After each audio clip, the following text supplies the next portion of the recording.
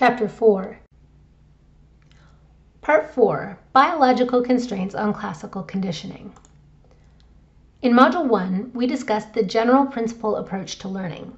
The idea behind the general principle approach is that although the procedural details will differ, the process of learning is conserved across species. What they learn is, of course, different, but no matter whether your research, research subjects are rats, pigeons, elephants, aplysia, or undergraduates, how they learn should be fundamentally the same. The experimenter's choice of stimuli, responses, and species of subject should be relatively important. Here are some results that challenge this notion for classical conditioning. One implication of the general principle approach to learning is the equipotentiality premise. Seligman and Hager proposed that a stimulus or response that is difficult to condition in one situation will also be difficult to condition in other contexts. Eye blink conditioning takes a long time compared to other types of conditioning, regardless whether the CS is a visual, auditory, or other stimulus. If it's difficult to condition a response to a soft sound or subtle change in lighting, that difficulty will occur no matter whether the US is a food, a shock, or something else. In an experiment involving both, both taste aversion learning and condition suppression, Garcia and Koelling showed that the equipotentiality premise is wrong. Garcia and Koelling used different CSs and different USs and exposed different groups of rats to different CS-US combinations. When the US was a mild shock, rats acquired strong conditioned responses to light and sounds, but only weak conditioned responses to the taste of saccharin. So far, this is okay. It could mean that the lights and sounds were more salient stimuli than the taste of saccharin. There's no violation of the equipotentiality premise just yet. Some rats in Garcia and Koelling's experiment experienced taste aversion learning. They were exposed to the CS before consuming an emetic, so something that made them vomit. Now, with vomiting as the US, rats acquired strong conditioned responses to the saccharin and weak conditioned responses to the lights and sounds. The effectiveness of the stimuli as conditioned stimuli depended on the context in which they were conditioned, or what they were conditioned to do, what they were signaling. Moreover, an effective stimulus for rats will not necessarily be an effective stimulus for birds in the same situation.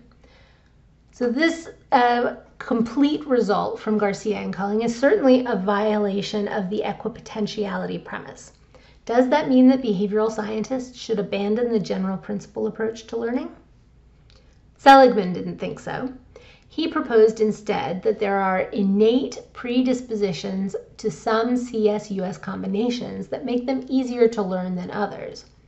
This idea uh, of biological preparedness or susceptibility to certain associations is appealing because it can explain just about any combinatorial or species difference, at least after it has been observed. But it would be better if it could make predictions about such differences beforehand. If the contiguity principle requires that the CS and US must be presented within seconds of each other for learning to occur, then taste aversion learning would seem to be a pretty extreme violation of it because it rarely happens within seconds and has been shown to occur in experiments after delays as long as 24 hours. In fact, for a while in the 1960s, there seemed to be a lot about taste aversion that didn't conform to expectations of contemporary learning theories. It seemed to occur with different stimuli, mostly worked with a very long delay, and there were species differences in the strength of different CS US associations. All of this led some scientists to suggest that maybe taste aversion learning was just a different type of learning uh, than other classical conditioning. Fortunately, Lexa Logue published a review of taste aversion learning research in the Psychological Bulletin in 1979 that got everyone to calm down. She pointed out that although these differences are quite real, they don't actually violate any principles of classical conditioning.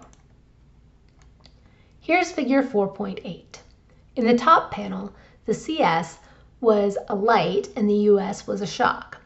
The graph shows conditioned suppression of lever pressing for different CS US delays. In the bottom panel, the CS was a flavor and the US was a poison, so taste aversion conditioning. The graph shows conditioned suppression of drinking of the flavor for different CS US delays. These two graphs look pretty similar, except that the delays in the top panel are in seconds and the delays in the bottom panel are in hours. If the contiguity principle requires that the CS and the US must be presented within seconds of each other for learning to occur, taste aversion learning violates it. However, as long as you acknowledge the possibility that conditioning of different responses can occur on different time scales, there's no violation because the process is the same.